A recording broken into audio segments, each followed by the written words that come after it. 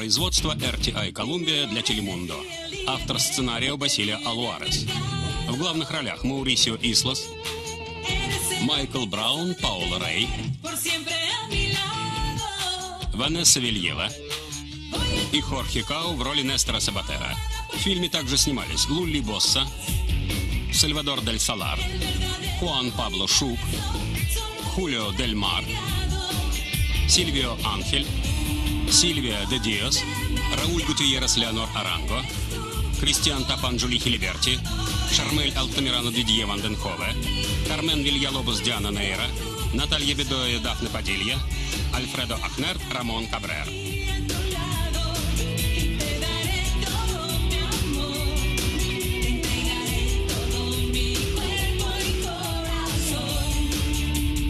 Операторы Маурисио Кадавид Роберто Кортес. Композитор Мигель де Нарваес.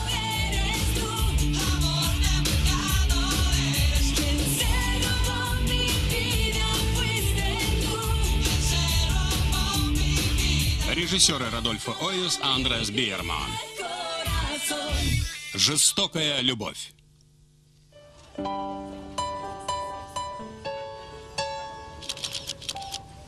Простите. Я только хотел вам помочь. Простите, я тоже хотела вам помочь. Однако, как стремительно ты сближаешься с женщинами, Диего. Ей ты тоже испортишь жизнь.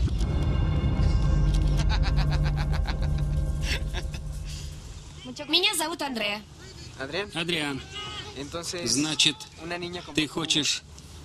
Играть в Депортиво Лос Милагрос?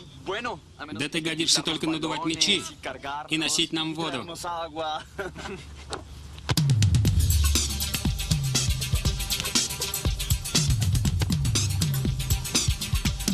Ничего себе! Испытайте меня и увидите, как я играю. Если забью три мяча, вы меня примете. Если нет, значит нет. Три мяча? Ты?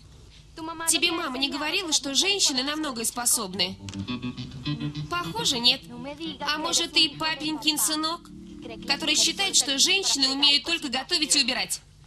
Послушай, ты, девчонка, лучше помолчи о моей матери, тем более о моем отце, ясно?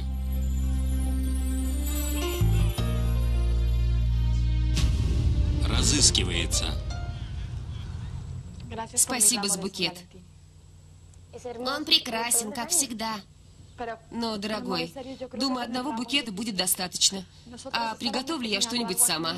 Сегодня ты не будешь ничего готовить. Мы пойдем в ресторан. Ну, хорошо. Как скажешь. Только в недорогой. Что с тобой, Марта? Я всегда обеспечивал нашу семью. Так будет и дальше. Хотя сейчас у нас и есть долги, но это решаемо. Конечно, ты прав. Прости. Важно то, что все эти пять лет мы прожили отличную жизнь, хотя я и отошел от дел. Плохо то, что, возможно, я снова вернусь к торговле. Конечно, глупо волноваться. Прости. Если у женщины такой муж, как ты, ей не о чем беспокоиться. Хорошо, что ты это понимаешь, любимая. Ты знаешь, что я ни к одной женщине не отношусь так, как к тебе. Ни к одной. Ты единственная. У меня никого больше нет, кроме тебя. Пять лет назад мужа Лусии похитили. И она подумала, что вы собираетесь сделать то же самое с Молнией. Вы что, слепой? Разве не видно, что мы журналисты? У нас микрофоны, камера. Неужели мы похожи на преступников? Между вами нет большой разницы. Вы тоже можете разрушить жизнь человека. Сеньоры, простите, глупо получилось. Прошу прощения.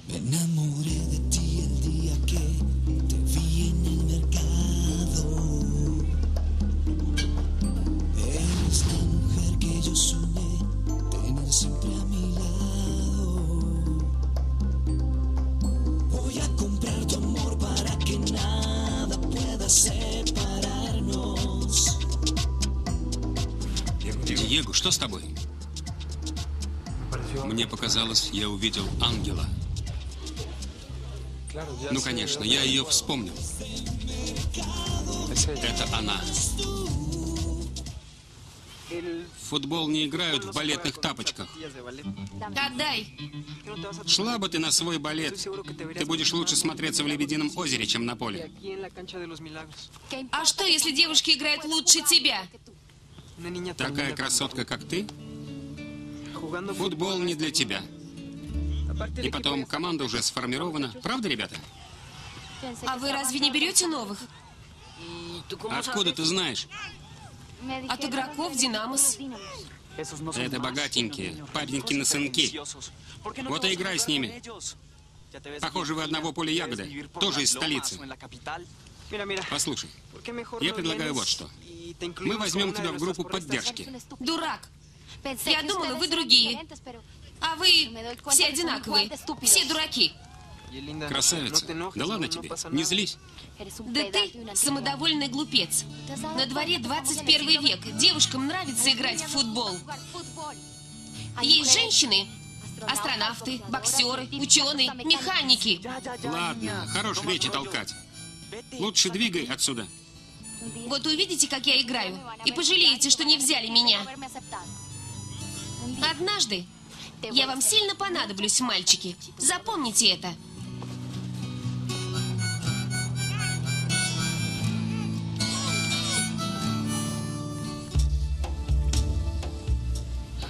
Дорогой, ты не представляешь, как мне не хватает этого, когда я чувствую, как бьется твое сердце.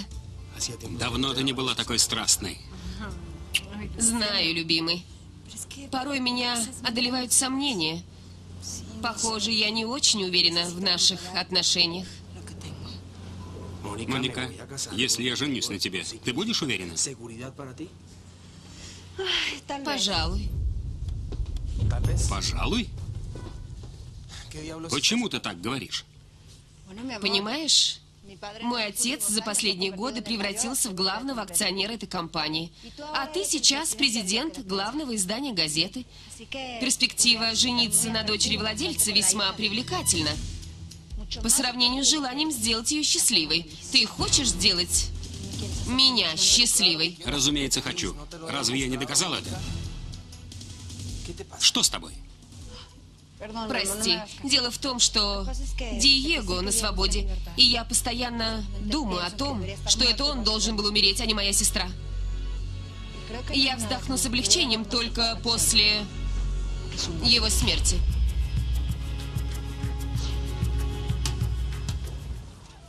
Лусия, Пять лет назад я видел вас в комиссариате. Я вас вспомнил. Да, правильно. А еще раньше, в день Святого Валентина. Да. Да, я была сыном и попросила у вас автограф. Я это хорошо помню. Простите, вы не дадите автограф для моего сына, пожалуйста. Простите за беспокойство. Как тебя зовут? Адриан, меня зовут Адриан. Адриан, Для меня это не просто воспоминание. Это был последний день счастливой жизни. А потом я лишился всего. у меня тоже. Потому что в тот день похитили моего мужа. После этого моя жизнь круто изменилась. А со мной произошел несчастный случай. Мне вас жаль. Мне вас тоже. Спасибо.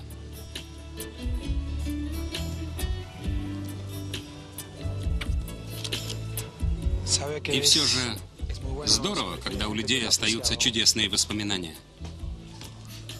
В тот день в комиссариате я увидел ангела. Простите, я долгое время не знал, что значит, когда рядом с тобой хороший человек. Я не имею в виду время, проведенное в тюрьме, а более ранние годы. Простите, мне нужно работать. Лусия, я хочу, чтобы вы знали, всего два часа назад я вышел из тюрьмы, и моя жизнь была лишена смысла, пока я не увидел, как вы бросились мне на помощь. Не говорите так. Мне очень неловко. Это произошло бессознательно. Провести пять лет в тюрьме должно быть это тяжело. Это суровое испытание. Надеюсь, ваше раскаяние поможет вам начать новую жизнь. Лусия, я не убийца. Надеюсь, Дева Мария, чудотворница, даст вам второй шанс. Я почитаю Деву Марию и просил ее об этом все эти годы. И знаете, кажется, она услышала мои молитвы. Ну что ж, всего доброго.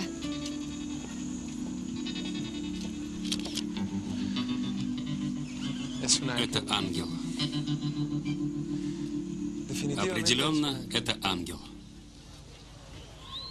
Моника, ты должна постараться забыть о том, что случилось с твоей сестрой. Да, правда, этот человек убийца, но пора бы уже с этим покончить. Я забуду Диего только после того, как он снова окажется за решеткой. Только тогда. Пять лет. Пять лет. Я пытаюсь убедить тебя выйти за меня замуж. Психиатры, психологи пытались помочь тебе оправиться после смерти сестры, пытались помочь тебе избавиться от ненависти. Но, похоже, ты сама не хочешь вылечиться. Я здорова. Сейчас ты должна думать только о нашей будущей свадьбе, о нашей совместной жизни. Все, что было, осталось в прошлом. Ты должна все забыть, окончательно.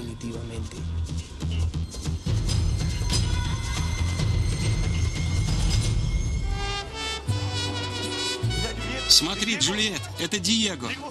Диего.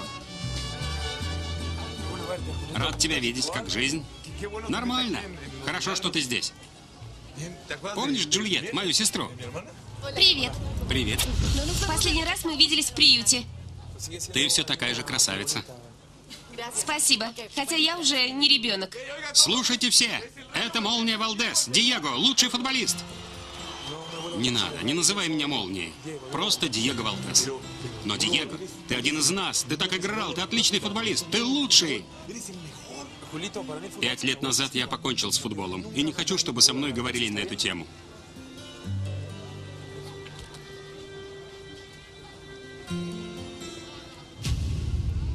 Сеньор Медрано? Да, шеф.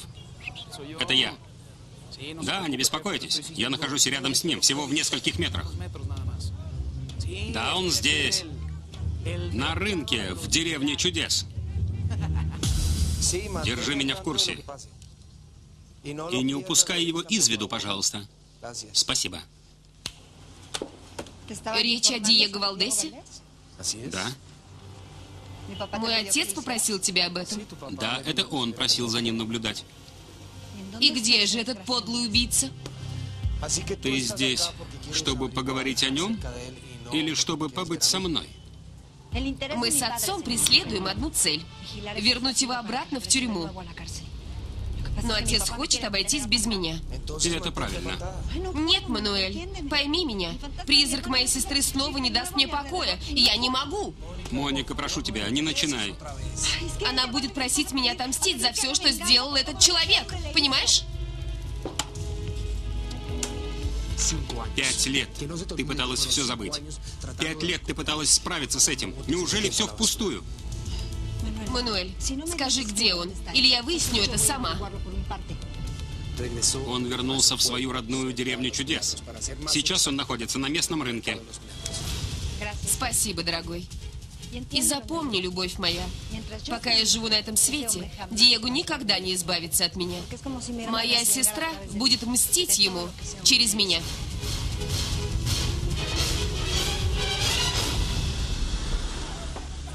Донья Хертрудис, вы, как всегда, перероете весь товар и в итоге ничего не купите.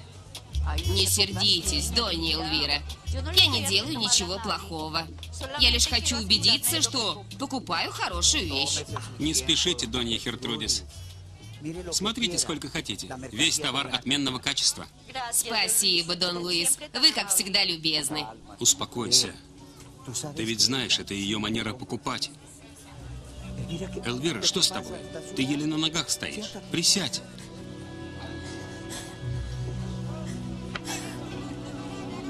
Сегодня пять лет. С тех пор, как пропал наш сын. Я не могу забыть о нем. Я знаю, знаю. И мы делаем все, чтобы не терять надежду. Мы каждый день молимся за него. Я до сих пор вижу, каким он был мальчиком, как он прибегал на рынок.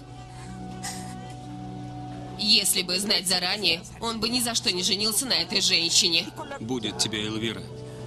Не говори так. Лусия наша невестка, мать нашего внука. И мы должны быть благодарны Богу за то, что у нас есть это место на рынке. Мы с ним рядом. Она и Адриан – наша семья. Они семья Фернандо. Однажды он вернется и вновь займет свое место. А мы свое. Да, Какой милашка. На обложках журналов он совсем другой. Перестань на него пиалиться, Кристина. Ты просто нахалка. Пять лет тюрьмы сильно меняют человека. И потом, он только несколько часов как освободился. Говорят, что его посадили за смерть дочери Сабатер. Если бы не она, то это был бы просто несчастный случай. Дочь Сабатер. Твоя сводная сестра? Кристина, замолчи. А Слава осталась при нем. Люди к нему липнут, как мухи. Я отнесу суп, а ты займись другими клиентами. И еще сок ему отнеси. Кристина, держи. Осторожно. Осторожно, горячо.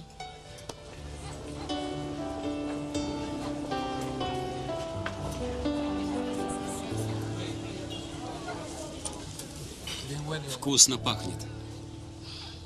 Спасибо. Нет, серьезно. Чудесный суп. Спасибо. Да, здесь лучшая еда на всем рынке. Во всей деревне чудес и ее окрестностях. Прелестная Лусия ее готовит. Дон Бенха, это простой вермишелевый суп. Нет, правда. Чудесный запах.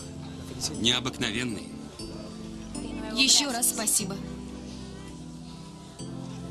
Диего, что случилось? Случилось то, что пять лет назад у меня было все, а теперь я остался ни с чем. В такой момент кажется, что жизнь больше не имеет смысла. А когда на пути встречаются такие прекрасные люди, понимаешь, что жизнь дает второй шанс. Диего, я вижу, тебе нравится эта женщина, но Лусия замужем, и у нее есть сын.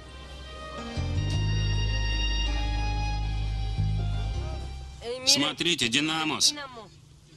Надо же, Депортиво Милагрос, ну и название. Подумать только, а ведь ты был один из нас, пока твоя мама не перевела тебя в другую школу. И все для того, чтобы работать поварихой на рынке. Слушай, Октавио, больше ни слова о моей маме. Так получилось, потому что мы лишились всего. Из-за того, что случилось с отцом. Ах, да, я забыл. Мальчик потерял отца, когда ему было 10 лет. А что, мы можем принять тебя обратно. Но только тебя одного. Никого больше. Что скажешь? Вернешься в Динамос? Откажешься от этих убогих из Депортива Милагрос, которым для победы нужно рассчитывать только на чудо?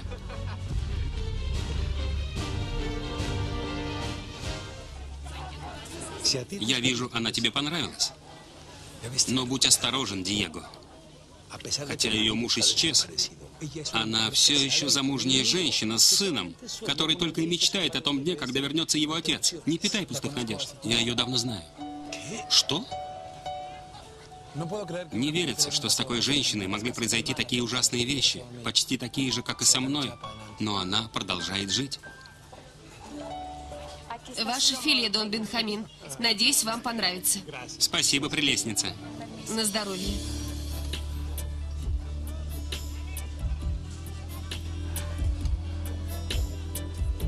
В ней столько энергии и желания жить после всего, что с ней произошло.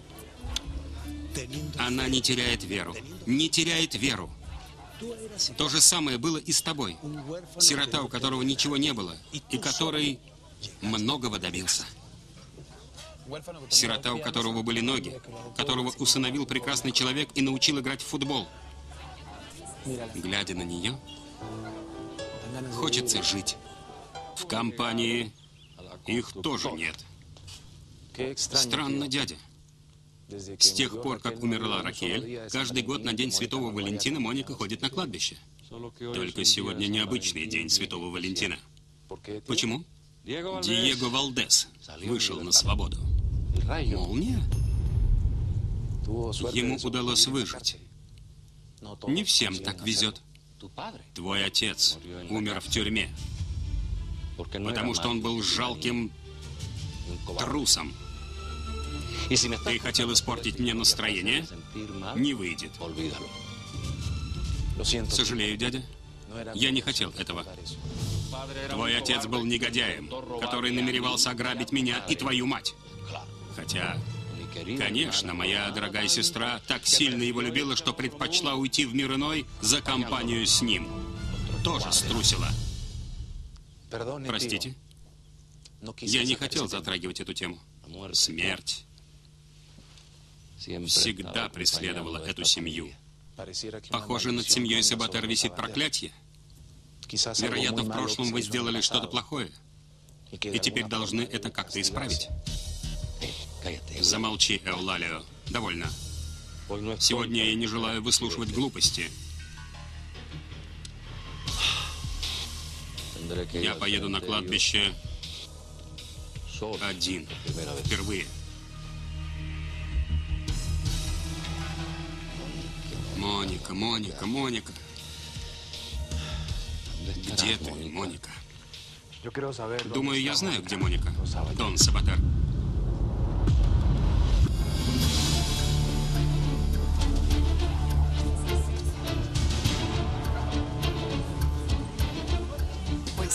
Не похож на убийцу. Неужели он и правда убил твою сводную сестру? Мама, этот сеньор не признал меня своей дочерью. Для меня он не отец, и хватит повторять, что она моя сестра. Ну ладно, ладно. А вот ты где, Диего Валдес. Моника, Да. Моника Сабатер. Боже мой. Это твоя сестра. Эта женщина твоя сестра.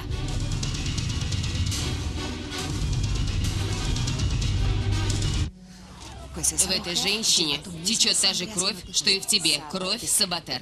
Мама, замолчи, пожалуйста. И остаток своей жизни ты будешь расплачиваться за смерть моей сестры. Я пришла напомнить тебе, кто ты есть на самом деле, Диего. Ты еще не на свободе. Ты убийца. Твой срок наказания еще не истек. Моника, я готов отдать жизнь, лишь бы вернуть твою сестру. Будет необходимость, я ее заберу. Не сомневайся.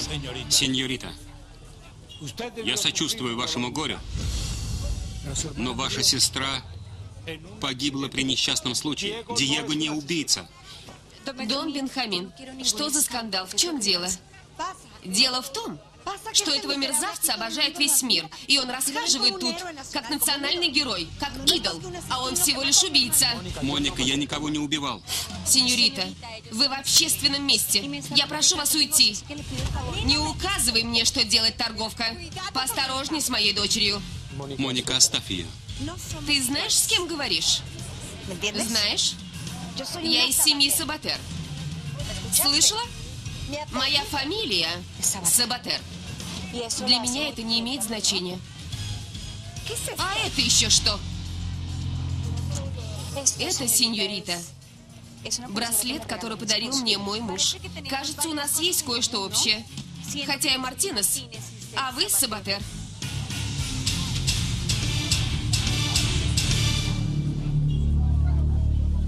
Не понимаю, почему ты позволил ей уйти, если считал, что она могла поехать туда?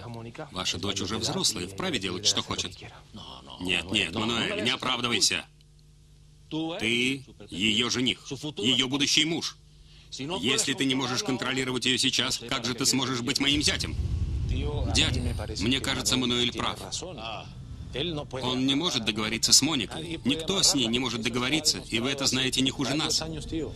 Моника сильно страдала все эти пять лет. Вы не представляете, сколько денег я потратил на психиатров, чтобы вылечить ее от этой ужасной депрессии. Все это пошло прахом. Сегодня я услышал от нее то же самое, что и пять лет назад. Желание отомстить Диего. Я ее прекрасно понимаю. К чему ты клонишь, Эулалио? Для нее прошедшие после смерти сестры годы сравнимы с одной минутой, я уверен. Когда у дорогого тебе человека несправедливо отнимают жизнь, ты начинаешь жить только одним этим днем, который все повторяется и повторяется и повторяется. И неважно, сколько времени прошло.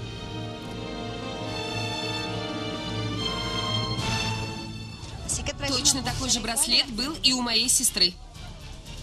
Ты что, с ней встречаешься и подарил ей такой же браслет? Конечно же нет, Моника.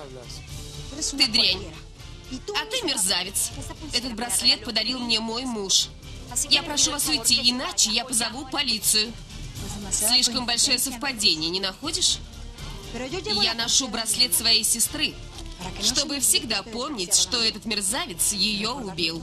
И что я должна разрушить твою жизнь. Я уже достаточно наказан, хоть и не виновен в смерти твоей сестры. Нет. Тебе никогда не искупить вину. Срок твоего наказания еще не истек. И не думай, что ты вернешься к прежней жизни, когда тебя окружали поклонницы. У тебя их больше не будет.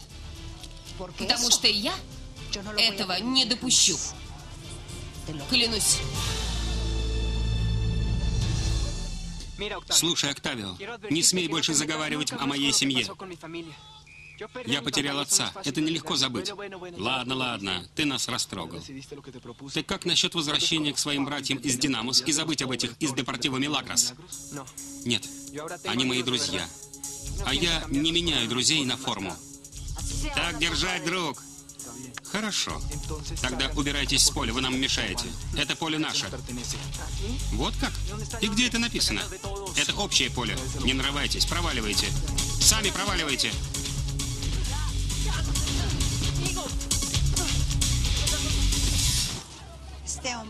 Этот человек убил мою сестру.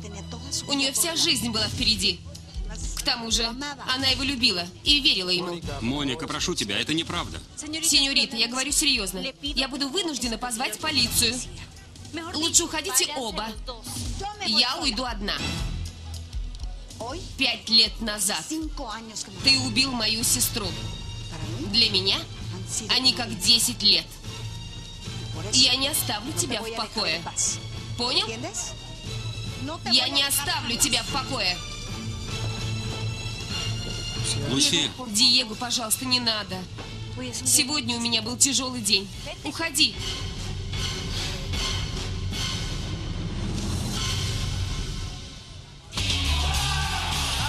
что здесь происходит? Довольно. Перестаньте немедленно. Адриан, Октавио. Ребята, вы опять деретесь на поле. Вы так и не научились уступать друг другу. Сколько можно, боже мой. Это они начали. Они хотели нас ограбить, забрали мяч и требовали нашу форму. Верно, ребята? Да. Ложь, святой отец. Октавио, это правда? Да не в этом дело. Просто мы перепутали наши мечи и подумали, что это наш. Верно? Да. Прости.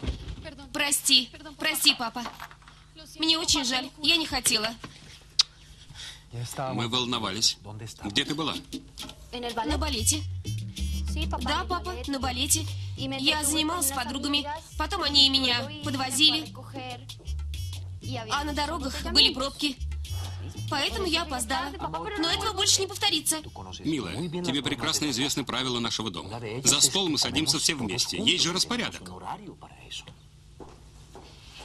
Андреа, хочешь, я отнесу рюкзак в твою комнату? Нет. Нет. Ты ведь знаешь, я не люблю, когда трогают мои вещи. Извини. Зачем ты так с Лаурой? Ты же знаешь, она почти как член семьи. Да, знаю. Строит из себя хозяйку дома. Но ей прекрасно известно, что мне это не нравится. Да что с тобой, милая? Ничего, ничего, папа. Все в порядке. Просто... Прости, Лаура, я полная дура. И не знаю, как к тебе относиться. Кто ты? Наша няня? Нет. Мы с Бетти уже достаточно взрослые, чтобы у нас была няня. Я знаю. Ты наша служанка. Андреа, Андреа, не надо так с Лаурой. Ненавижу, что с нами обращаются как с сиротками.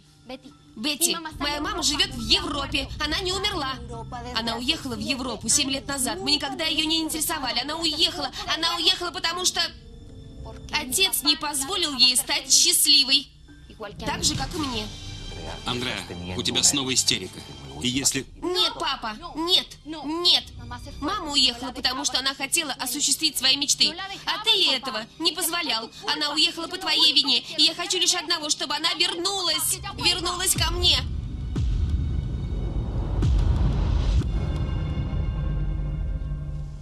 Только дикари решают споры кулаками.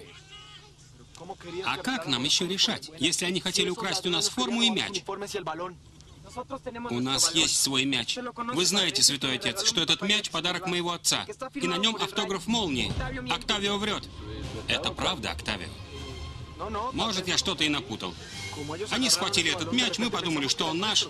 Верно? На этом поле могут играть все желающие. И жители деревни чудес, и вы, городские.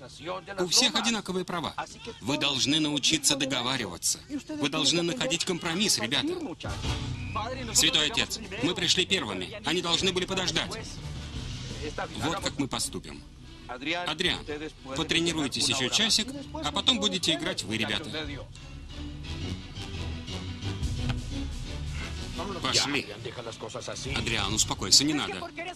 Думаешь, если ты богатей, то имеешь право обращаться с людьми, как тебе вздумается? Но уж нет. Я тоже думал, что у меня есть все. Но оказалось, что это не так. Идите, ребята, все нормально. Давайте, идите играть. Идите, идите. Идите играть. Из-за тебя папа на нас рассердился. И если это так, то сердись на меня одну, папа.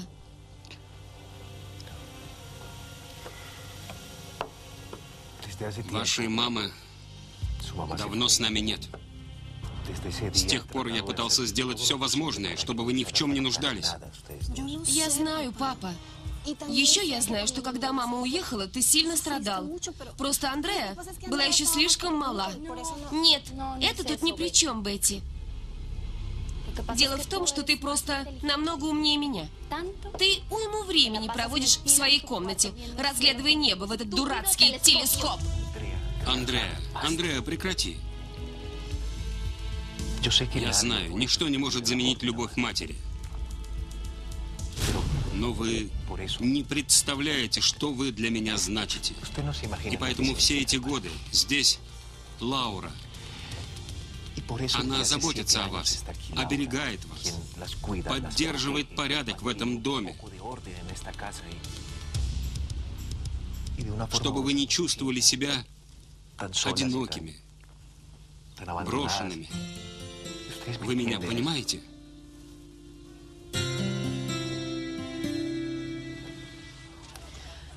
Все это ложь. Все это ложь. Все это ложь.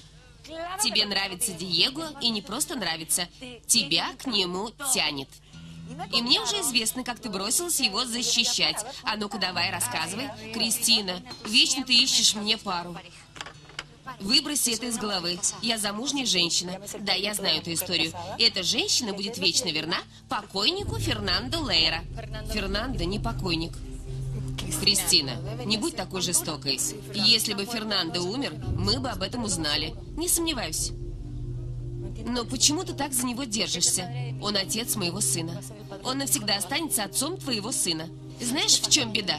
В том, что накануне похищения Фернандо ты сама мне говорила, что не любишь его и хочешь с ним развестись. А теперь ты держишься за чувства, которые тебе совершенно не нужны. Я чувствую себя виноватой. В какой-то степени я несу ответственность за то, что произошло. Ты ни в чем не виновата. Прости, но ты этого не понимаешь, не понимаешь.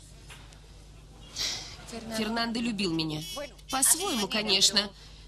Но он всегда желал мне добра. Кроме того, нас связывает Адриан. Он всегда нас объединял. Поэтому я должна быть ему верна. Я должна хранить этот брак ради Адриана. Ясно. Подруга, а ты никогда не думала найти настоящую любовь? Чтобы я смогла кого-то полюбить, чтобы у меня появился второй шанс в жизни, нужно, чтобы вернулся Фернандо, чтобы вернулись наши отношения. Я это делаю не ради себя, а ради сына. Здравствуй, Лусия.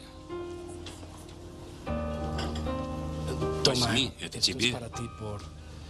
С Днем любви и дружбы. Поводом послужил не только праздник. Я считаю, настало время получать цветы от того, кто тебя действительно любит.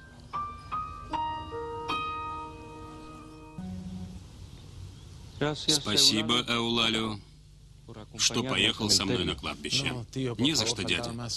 К тому же я воспользовался возможностью и положил цветы на могилу матери. Я видела с Диего Валдесом. Я не смогла сдержаться. Да. Я знаю. Я говорил с Медрано. Ты отсутствовала на совещании и не поехала со мной на кладбище. Ты была на рынке чудес? Да. Что тебя удивляет, кузен? Ничего. Просто я знаю этих местных. Я видела его, папа. Он на свободе, будто и не было этого заключения. Но кузина, Молния заплатил пятью годами тюрьмы. Это недостаточная плата за жизнь моей сестры. И потом объясни, почему ты тоже называешь его Молнией? Моника, не срывайся на Эулалию. Ты бы его видел, папа. Он стоял на рыночной площади, и все вокруг кричали «Молния» с таким благоговением, будто он был героем. И еще какая-то грязная повариха вступилась за него. Повариха на рынке чудес? Да. Эта нахалка оскорбила меня. Сказала, что мы не такие уж и разные, хотя ее фамилия Мартинес, а моя Сабатер.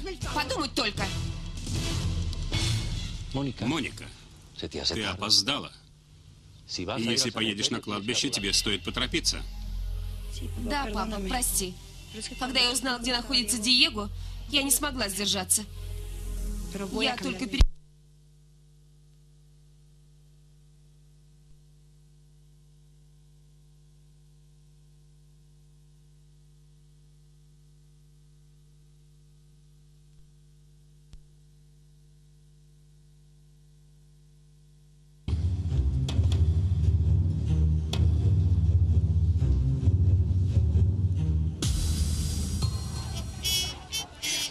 Херардо, ты хороший друг. Ты замечательный друг. Ты доказал мне это однажды. Помог мне получить кредит, чтобы заплатить выкуп за Фернандо. Да, помог. Ради него ты все эти пять лет прожила в кошмаре. Ты потеряла все, Лусия. Вот в чем я тебе помог. Нет. И ты знаешь, ты помог мне, чтобы успокоить меня. Я сделала все возможное. Я пыталась выкупить Фернандо. Как раз об этом я и хочу поговорить. Может, сходим куда-нибудь, выпьем кофе? Мне нужно сказать тебе что-то важное. Не хочу разговаривать здесь.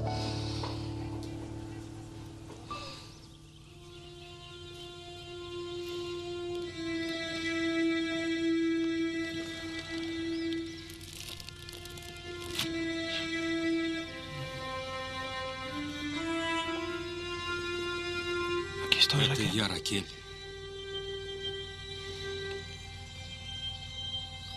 Ракель. Пять лет.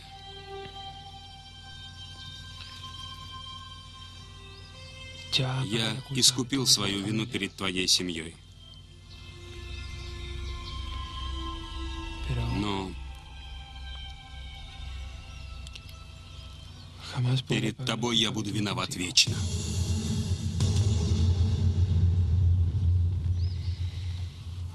Не знаю. Не знаю, я... Что не знаешь? Видите ли, Донья Мерседес, я только что пригласил вашу дочь прогуляться, выпить чего-нибудь. Конечно, иди, Лусия. Пройдись, подыши свежим воздухом, поговорите. Ты развеешься. Часик перерыва тебе не помешает. Спасибо, Донья Мерседес. Вашу дочь трудно было убедить в этом. Идем, Лусия. Шампанское. Ведь сегодня особый случай. Позвольте. А можно мне немного выпить? За Святого Валентина. Хорошо, но только чуть-чуть. За этот особенный день. Ни сегодня, ни в какой другой день. Да, Поставь бокал. Марта, как тебе пришло в голову разрешать ребенку пить? ты прав. Это была плохая идея.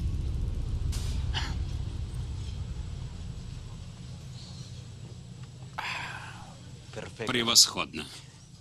Чего еще может желать мужчина, когда рядом любимая женщина и плод их любви? За нас. Я этого Херарда на дух не переношу, бабушка. А он продолжает приходить к маме. Покоя от него нет. Он был другом твоего отца. И не забывай, он помог собрать деньги на выкуп Фернандо. Да. И благодаря ему вы остались ни с чем. Потому что банк забрал все, что у вас было. Все, что мой бедный сын заработал тяжким трудом.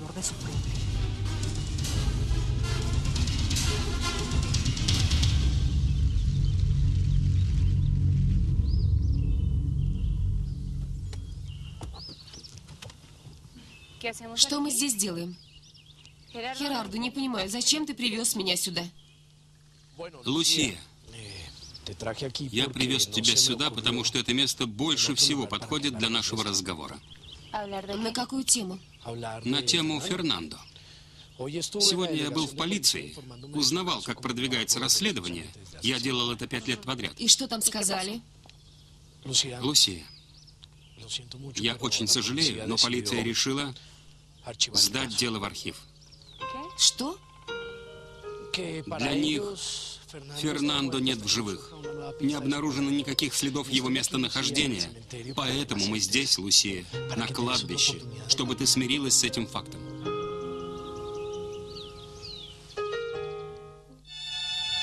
Фернандо жив. Он жив.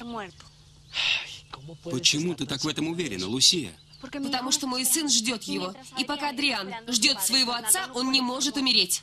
Ты все еще надеешься, что его где-то держат? Ради бога, подумай хоть немного о себе. Перестань думать только о сыне. Что? О чем ты просишь? Перестать думать о сыне? Что с тобой, Херардо? Зачем ты привез меня сюда? Я привез тебя. Я привез тебя сюда, Лусия, для того, чтобы ты поняла, что целых пять лет ты была вдовой. Ты вела себя как замужняя женщина, а теперь у тебя появляется возможность снова стать свободной женщиной. Не могу поверить. Ты друг Фернандо. Как ты смеешь так говорить? Может, Фернандо в этот момент где-то невыносимо страдает? Лусия, Лусия, постой. Херардо, оставь меня. Ешь. Что такое, Нати? Мне это не очень нравится. Ты это заказала. Да, но... Тогда ешь. И не ставь в глупое положение маму и папу. А что если мы с Нати поменяемся блюдами? Тебе мое понравится. Прошу тебя, Марта, прекрати потакать ее прихотям. Прости. В ее возрасте она должна понимать, что не всегда будет так, как ей хочется. Ты прав. Но, любимый, мы заказали очень необычные и дорогие блюда. Разумеется. Это блюдо она выбрала сама. И у меня к тебе большая просьба, Марта. Я хочу, чтобы вы вели себя как светские дамы. Наслаждались прелестями жизни. И сеньорита тоже должна это делать. Она должна все попробовать. Поднимем бокалы за нашу счастливую, дружную семью. Чего еще можно в жизни желать? За нас. За нас. И приятного аппетита.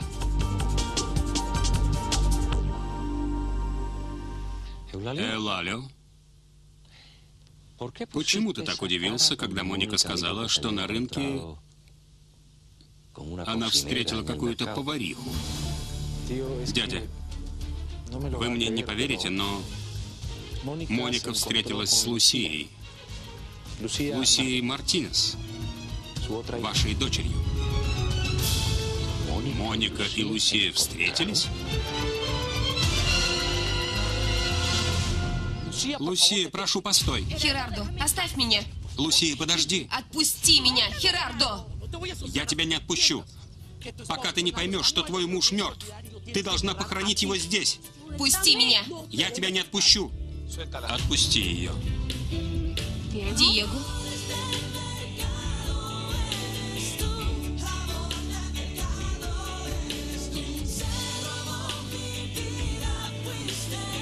Фильм озвучен студией «Инис» по заказу компании Central Partner.